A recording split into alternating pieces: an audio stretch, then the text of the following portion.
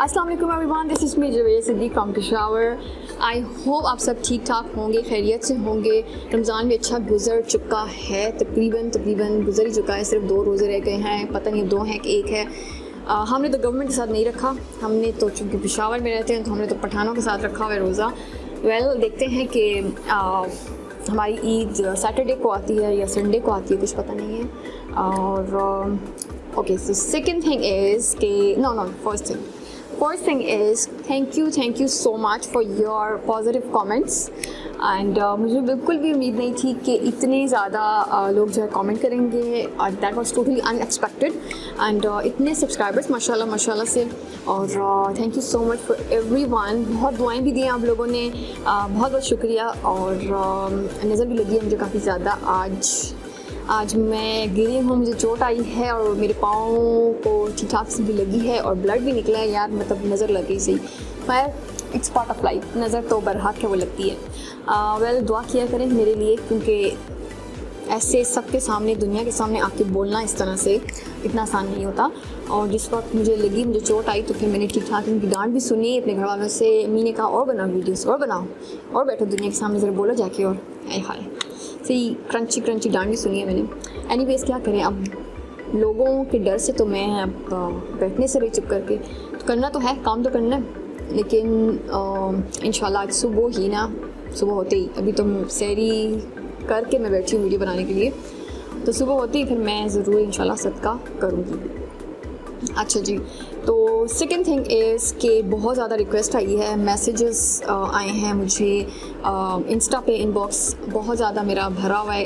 एक ही बात से कि हमें फ्रीलांसिंग सिखाएँ फ्रीलांसिंग सिखाएँ और इंटरेस्टेड इंटरेस्टेड इंटरेस्टेड के तो बहुत सारे कमेंट्स आए हैं मेरी सेकंड वीडियो के ऊपर। जहाँ पे मैंने बोला था कि अगर आप लोग इंटरेस्टेड हैं तो फिर मैं आप लोगों को बताऊँगी अबाउट फ्रीलांसिंग और जितना हो सकेगा मैं आप लोगों की हेल्प करूँगी और आई विल टीच यू जितना मुझसे हो सकेगा, ठीक है? आज मैं आप लोगों को बेसिक बताती हूँ फ्रीलांसिंग के बारे में। खैर मैंने फ्रीलांसिंग के बारे में इतना ज़्यादा तो नहीं वो करना था व्लॉग्स नहीं बनाने थे, लेकिन चूँकि रिक्वेस्ट बहुत ज़्यादा आई हैं लोगों ने मैसेजेस बहुत ज़्यादा किए हैं मुझे इवन फेसबुक का मैंने नहीं दिया यहाँ पे लिंक नहीं दिया हुआ, क्योंकि मेरा पेज बन चुका है, लेकिन थोड़ा सा उसमें कुछ एडिटिंग वगैरह रहती है तो इस वजह से फिर मैंने लिंक नहीं दिया हुआ था। लेकिन लोग मेरा नेम सर्च करके फेसबुक पे मेरे मेरे पास पहुँचे और रिक्वेस्ट पे रिक्वेस्ट और messages messages that was unbelievable मतलब मैं क्या मुझे लगा कि कोई मुझे क्यों कोई पूछेगा? मना कोई क्यों मुझसे बात करेगा? लेकिन आ, बहुत ज़्यादा लोग ये चाह रहे हैं कि मैं उन लोगों को फ्रीलांसिंग सिखाऊँ। बट अच्छा मेरे बारे में बहुत सारे लोगों ने पूछा कि भाई क्या करती हो? अपनी फ़ील्ड बताएँ आपने स्टार्ट कैसे लिया?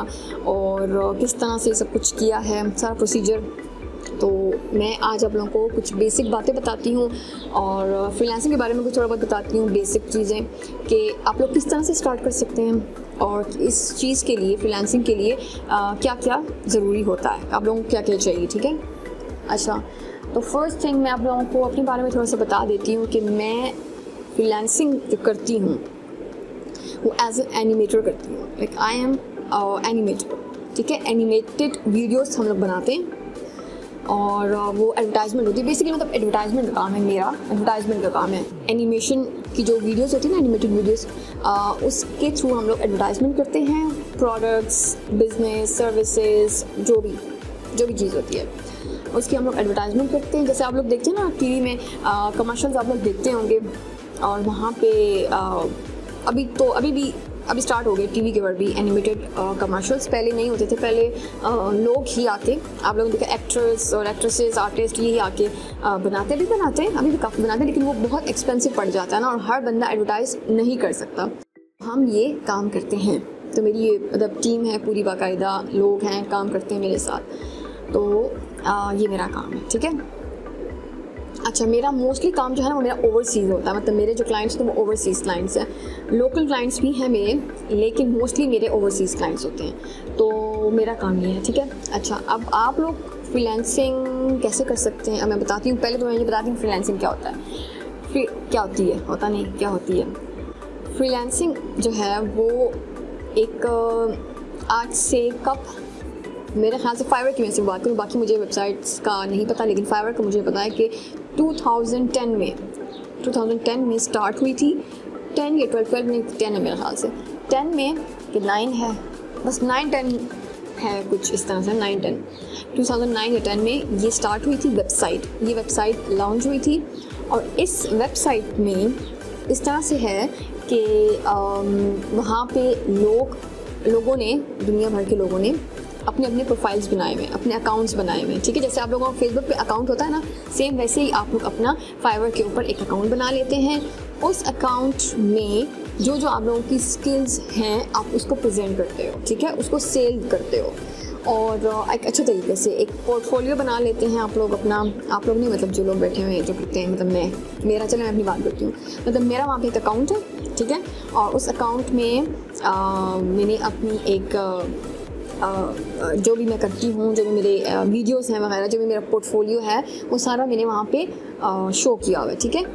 होता इस तरह से है कि जैसे मैंने बताया था अपने जो मेरा वो था इंटरव्यू था, उसमें भी मैंने बोला था कि फाइवर के ऊपर जो गिग्स होती हैं ना, वो इस तरह से होती हैं कि जैसे आप एक मार्केट में जाते हो ना तो वहाँ पे एक ही तरह की डिफरेंट शॉप्स होती हैं, ठीक है? दुनिया बैठी हुई है, इधर भी बैठी हुई, इधर भी आमने सामने कितनी मतलब आप लोगों ने देखा होगा, मार्केट में आमने सामने कितनी शॉप्स होती हैं। तो जब कस्टमर्स जाते हैं वहाँ पे और जिसको जो भी चीज़ पसंद आती है इस शॉपकीपर से या उस शॉपकीपर से या सामने वाले से, इधर से इधर से, जहाँ भी अच्छी वैरायटी मिल जाए अफोर्डेबल उनके मतलब हमारी चॉइस के अकॉर्डिंग तो हम लोग वहाँ जाके वो चीज़ ख़रीद लेते हैं, ठीक है? तो सेम फाइवर के भी यही केस है।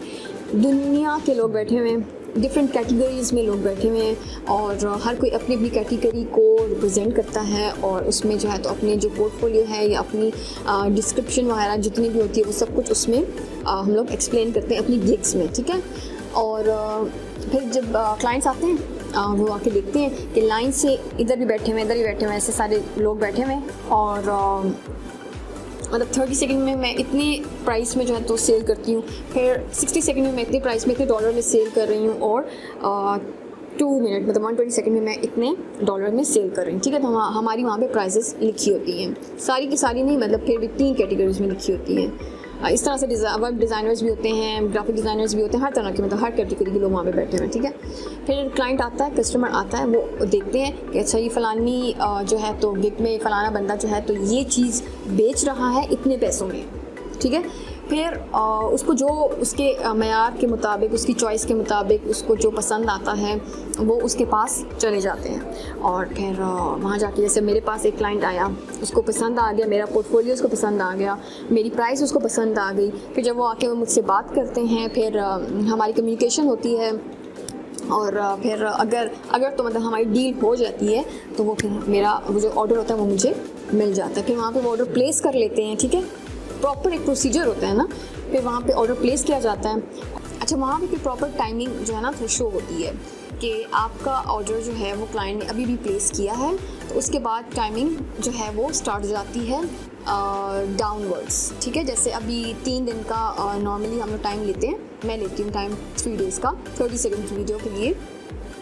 तो टाइम जो है ना, वो डाउन वर्ड्स में जो है ना, वो स्टार्ट हो जाता है। कम होना स्टार्ट हो जाता है। इस तरह से हमें पता चलता रहता है कि अच्छा हमारे पास एक दिन पंद्रह घंटे रह गए हैं, एक दिन दस घंटे रह गए हैं या सिर्फ़ ट्वेंटी टू आवर्स रह गए हैं या फिफ्टीन आवर्स रह गए हैं तो इस तरह से हमें पता चलता रहता है कि हमारे पास कितना टाइम रह गया है उस प्रोजेक्ट को हैंड ओवर करने के लिए तो हम उसके अकॉर्डिंग फिर अपना प्रोजेक्ट जो है वो जल्दी जल्दी कंप्लीट करके हैंड ओवर करते हैं। और टाइम से पहले पहले हैंड ओवर करना होता है।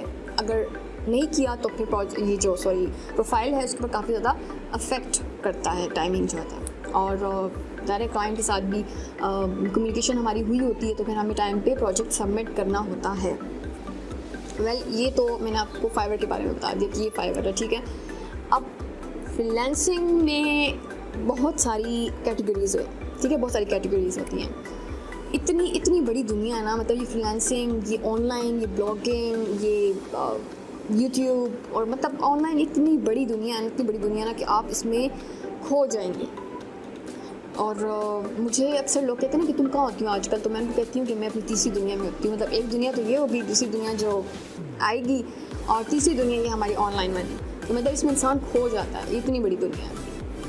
फ्रीलांसिंग में भी ऐसे ही है। बहुत कैटेगरीज हैं। कैटेगरी के अंदर कैटेगरी एक कैटेगरी उसके अंदर कैटेगरी इतनी चॉइसेस हैं ना आप लोगों के पास कि आप लोग सोच नहीं सकते, आप लोग खुद भी कंफ्यूज हो जाएँगे कि मैं इधर जाऊँ कि उधर जाऊँ, कि कौन सी कैटेगरी में जाऊँ और कौन सी जो है कैटेगरी को मैं सेलेक्ट करूँ। Well this is totally depends on your interest level आपका इंटरेस्ट लेवल जिस फ़ील्ड में होगा, आप उधर जाओगे। फ़ील्ड इन द सेंस कि अगर आप वेब डेवलपमेंट की तरफ़ जाना चाहते हो तो आप वहाँ पे जाएँगे। अब वेब डेवलपमेंट के अंदर कितनी ज़्यादा कैटेगरीज हैं, ठीक है? वो एक अलग से। और फिर मैं, आज मैं थोड़ी सी वर्बली आप लोगों को बता रही हूँ। फिर नेक्स्ट ब्लॉग में मैं लैपटॉप के साथ मतलब लैपटॉप को रख के फिर आप लोगों को बता दूँगी कि इसमें कितनी कैटेगरीज होती हैं। अच्छा फिर कोई अगर ग्राफिक डिज़ाइनिंग की तरफ़ जाना चाहता है तो उसमें इतने ज़्यादा ऑप्शंस हैं। लोगो डिज़ाइनिंग है बैनर डिज़ाइनिंग है ई बुक डिज़ाइन है पत्ता नहीं सॉरी ई बुक कवर है। बड़ा इतना मतलब इतना कुछ है ना कि एक नीश आपने सेलेक्ट करनी होती है एक टॉपिक एक टॉपिक नीश ठीक, एक नीश और फिर उस पर उसके ऊपर काम करना होता है आप लोगों ने। मतलब हम लोग उसके ऊपर काम करते हैं। अच्छा फिर एनिमेशन आगे आ जाती है मेरी मतलब जो हम लोग काम करते हैं एनिमेशन में भी ऑप्शंस हैं काफ़ी कि कौन कौन से कौन कौन सी एनिमेशन करना चाहते हैं कौन सी वीडियोस बनाना चाहते हैं। अच्छा फिर उसके बाद और क्या होता है? कंटेंट राइटिंग होती है। कंटेंट लिखते हैं या स्क्रिप्ट लिखते हैं कि कुछ क्या लिखते हैं, कि नावल के लिए लिखते हैं, कि स्टोरीज़ के लिए लिखते हैं, कि बुक्स लिखते हैं, उसमें भी ऑप्शंस होते हैं। अच्छा और और कौन सा? अभी मेरे सामने लैपटॉप नहीं कि आपको बता दूँ देख के कि कितने ज़्यादा इसमें ऑप्शंस होते हैं। और फिर हर बंदा अपने इंटरेस्ट लेवल के अकॉर्डिंग जाता है। अब मैंने स्टार्ट में ही आ, मैं एनिमेशन की तरफ़ चली गई थी क्योंकि मैंने जिस यूनिवर्सिटी से मैंने ये कोर्स किया था तो वहाँ से वहाँ पे ये एनिमेशन सिखाते थे। क्योंकि उन दिनों एनिमेशन स्टार्ट नई नहीं थी ना तब इस चीज़ में और इसका बड़ा स्कोप था। और कंपटीशन भी इतना ज़्यादा नहीं होता था। तो मैंने ये एनिमेशन सीखी थी। मतलब बहुत बेसिक सीखी, लेकिन उसके बाद अब जो हम लोग इतने मतलब आफ्टर इफ़ेक्ट और ये जो जितने भी और सॉफ्टवेयर हैं, इनके पर हम लोग काम करते हैं ना तो ये थोड़े हाई लेवल के हैं। नेक्स्ट ब्लॉक में मिलते हैं फिर। So till the next block take care of your this.